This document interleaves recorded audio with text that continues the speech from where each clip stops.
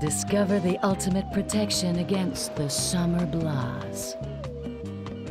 Is that good? Perfect.